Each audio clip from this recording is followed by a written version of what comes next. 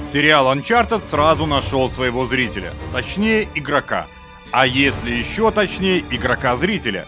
И в этом нет ничего удивительного, ведь разработчикам удалось создать по-настоящему увлекательный, интерактивный приключенческий фильм с интригующим сюжетом, яркими и неординарными персонажами, с головокружительными погонями и перестрелками. Оторваться от экрана было и правда практически невозможно. Из-за этой небывалой увлекательности сериалу прощалось многое, и не всегда идеальное визуальное исполнение и затянутые перестрелки. Ведь все эти мелкие минусы меркли на фоне одного огромного плюса. Uncharted умело удивлять. Поэтому, запуская Drake's Deception, мы готовились вновь погрузиться в волшебную сказку. Вот только, кажется, местная Шахерезада подустала и начала банально заговариваться. Об этом мы и поговорим в видеообзоре Uncharted 3 Drake's Deception на Playground.ru. Конечно, мы реалисты и понимаем, что в приключенческом жанре придумать что-то новое – это подвиг. Но именно за такие подвиги фильмы и игры получают высокие баллы. Сценаристы из Naughty Dog, увы, пошли по проторенной предыдущими частями дорожки. Не будем вдаваться в подробности, чтобы совсем уж не лишать вас удовольствия от прохождения. Но если вкратце описать сюжетную завязку, то выглядит это примерно так. Натан Дрейк опять ищет чудо-город, на этот раз затерявшийся в песках. До него это поселение искал его предок, который, как оказалось, был тем еще искателем приключений на свои больные кости. Естественно, не обошлось и без злодеев, которые пойдут на все, чтобы добраться до таинственного города раньше, чем это сделает Дрейк и его приятели. В общем, все стандартно, все привычно. От скуки спасают только хорошо написанные диалоги. В этом плане к сценаристам у нас нет претензий. Каждый герой это действительно уникальная личность. На протяжении всего путешествия вы будете открывать себе персонажей с новых сторон, узнавать об их прошлом, о том, как же они, такие красивые и умные, дошли до такой странной жизни. Особо порадовало то, что мы увидим и даже сможем поиграть за маленького Дрейка. Авторы позволят нам увидеть, как началась их дружба с Салли, как они стали не разлей вода, и как нажили себе главного врага их жизни. Который, э, точнее, которая будет преследовать их до самого финала. И вот тут начались первые проблемы. Дело в том, что игра по большей части строится по одному очень неприятному сценарию. Мы проходим из одной точки уровня в другую, параллельно решая одну-две головоломки. Находим то, зачем сюда явились, затем совершаем такую же дорогу назад. И вот тут на нас нападает целая армия неприятелей, которые мечтают только об одном – убить нас и забрать найденный артефакт. Вообще, забирать найденное у нас и так будут регулярно, так что об этом беспокоиться не стоит. А вот о стычках с врагами стоит. Самыми глупыми и неудачными получились кулачные бои. Если честно, то это просто тихий ад, который имеет мало общего с понятием «интересно». Мы машем кулаками, вовремя уворачиваемся, отталкиваем врага. И все это делаем под строгим присмотром искусственного интеллекта, который показывает, когда и какую кнопку на джойстике нужно нажать. Никто не спорит, некоторые драки смотрятся вполне себе кинематографично. И они могли бы присутствовать в проекте, если бы авторы не перегибали палку. Потому что если мы уж с кем и деремся, то это значит, что на нас нападает сразу 5-10 врагов.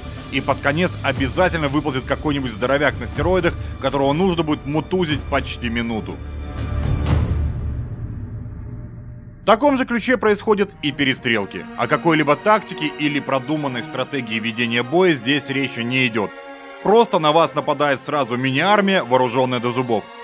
А вы должны вместе со своими компаньонами убить их всех. Причем, если на поле брани выбежало 5 солдат, то будьте уверены, как только вы разделаетесь с ними, тут же появится очередная группа веселых Гитлер-Югендлихен. И все начнется заново. По сути, претензий к самим перестрелкам у нас нет. Авторы, слава богу, не ввели никакого идиотского автоприцеливания, так что все здесь честно.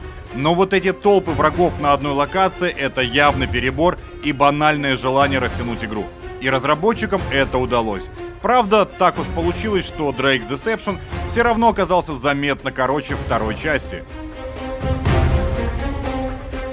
Несколько раздражает и умышленное самокопирование. Такое ощущение, что авторы нашли сразу несколько фишек и теперь вовсю их используют.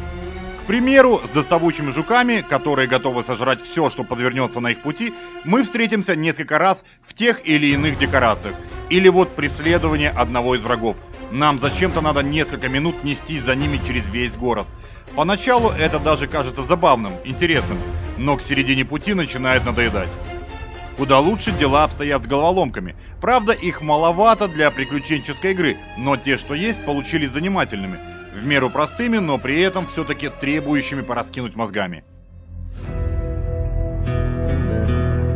Да и само по себе путешествие не вызывает отрицательных эмоций. Мы, словно зайчики-попрыгайчики, носимся по всему миру в поисках таинственных артефактов.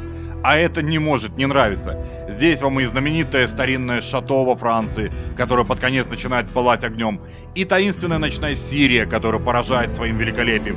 Все это делает приключения Натана Дрейка достойными внимания. Жаль, что при этом нам приходится постоянно от кого-то отстреливаться. Возможно, авторам серии стоило поумерить пыл и сделать игру пусть и еще короче, но все-таки более динамичной.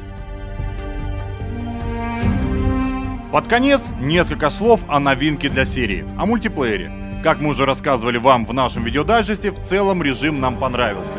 Теперь мы смогли опробовать все карты и типы заданий и можем смело подтвердить, за командными схватками время летит незаметно, а реализованы они отлично. Радует, что постепенно мы растем в уровне и можем приобретать новое, более мощное оружие. Помимо этого, существуют и всякие модификаторы, которые позволяют нам шустрее бегать или, к примеру, быстрее забираться по лестницам. А то, что реальные противники куда опаснее и умнее, чем контролируемые искусственным интеллектом, об этом и говорить не стоит. В общем, в этом плане у разработчиков все получилось.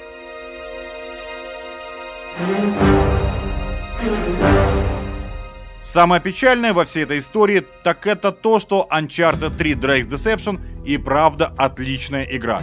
Она умеет затягивать, она умеет иногда удивлять, иногда огорчать. Но в этот раз мы добираемся до финиша, скорее вопреки всем тем минусам, о которых мы до этого говорили. Мне кажется, что авторам пора взять творческий отпуск, подумать хорошенько, как дальше развивать тему, потому что в противном случае четвертая часть окажется мало кому нужной. На этом все. Удачи и до встречи на Playground.ru.